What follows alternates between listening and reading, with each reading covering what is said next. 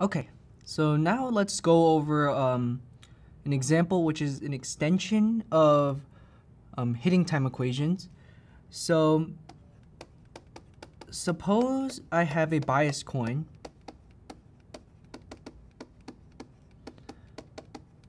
and um, since it's biased it flips heads with probability so flips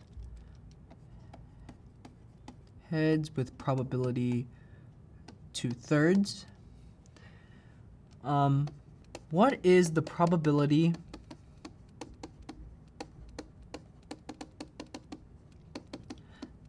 that I get two heads before two tails. So this type of problem can be solved with a similar approach um, to hitting time equations. So as with the hitting time equation question, um, let's first draw out the Markov chain. So we have a start node here. And this time we're going to make sure that um, our Markov chain, you know, has the least number of nodes possible, but still able to capture all the information we need in this um, problem.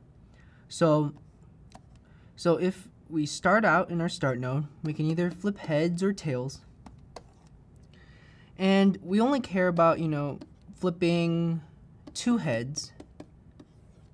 And and if we're at a tails, uh, we care about flipping two tails. And then we have transition probability from heads to tails. If we like have a heads and then we flip tails, we transition here. And then if we just flip the tails and now flip a we transition to the head state. And now let's draw, um, write out our transition probabilities. So we flip heads with probability two thirds and tails with probability one third. And so the heads to tails transition is one third. Tails to heads transition transition is two thirds. Heads and getting like this transition means we got another heads, which is two thirds. And then this transition means we got another tails, which is one third. So essentially we're capturing, you know, our most recent like flips in this Markov chain. And we want the probability that we get two heads before two tails. So similar to hitting time equations where I defined um, beta of i, which was the expected number of steps until I reached a state, a state. Now I'm going to define alpha of i, which is the probability that I reach heads heads before tail tails if I start at state i.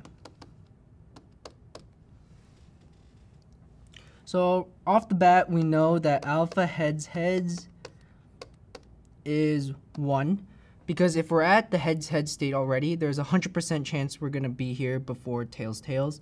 And likewise, alpha tails tails is going to be 0 because if we're at the tails tails state, there's a 0% chance we're going to reach heads heads before tails tails. And now we can just apply um, the same um, procedure as we did in the first step equations. We have alpha of heads, and this is just 2 thirds alpha heads heads plus 1 third alpha tails. And you notice um, how here we don't have a 1 plus in our equations. And this is because we're tracking probabilities rather than, so we're tracking probabilities um, rather than um, counting the number of flips.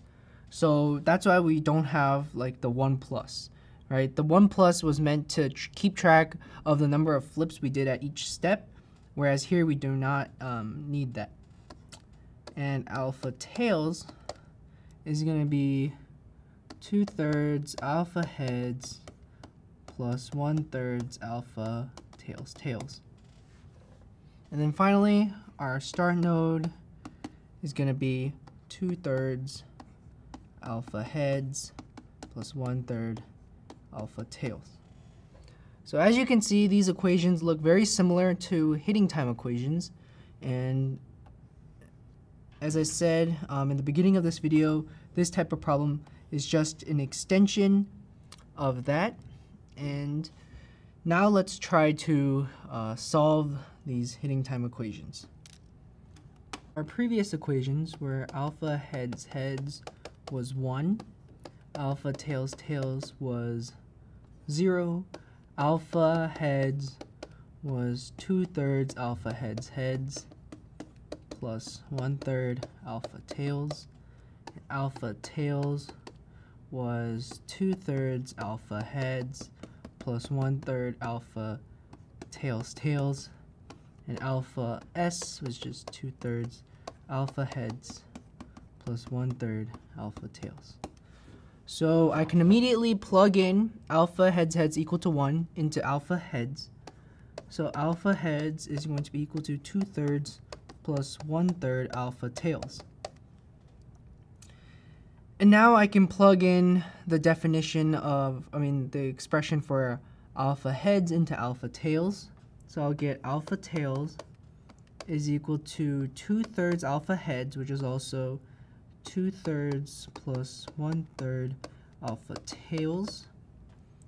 And plus 1 third alpha tails tails and 1 third alpha tails tails is just going to be 0 as alpha tails tails is 0 so therefore alpha tails is 4 ninths plus 2 ninths alpha tails we move this to the other side to get 7 over 9 alpha tails is 4 over 9. We solve and get alpha tails is 4 over 7. And we can plug this back into um, alpha heads over here to get that alpha heads is 2 thirds plus 1 thirds alpha tails, which is just 4 sevenths. And 2 thirds is 14 over 21. And this is 4 over 21 which is 18 over 21, which is also 6 over 7. And finally, alpha s is just going to be 2 thirds alpha heads plus 1 third alpha tails, which is equal to 2 thirds, and we plug in um, what we got for alpha heads and alpha tails to get 2 thirds times 6 over 7 plus 1 third times 4 over 7 to get 16 over 21. And and what this basically means is that, you know, if we have a biased coin with um, probability two thirds of flipping heads, there's a 16 over 21 chance that we get two heads before two tails.